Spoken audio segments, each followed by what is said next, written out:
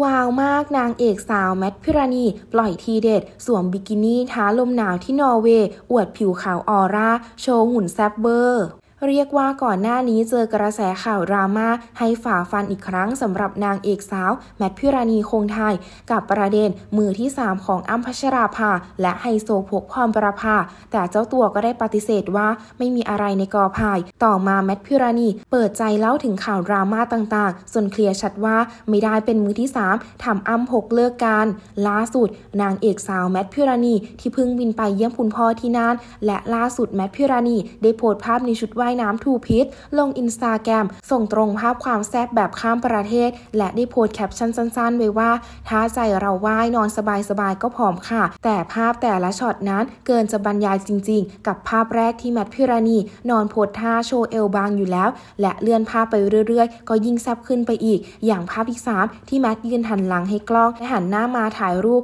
บอกเลยว่าหุ่นแซ่บเบอร์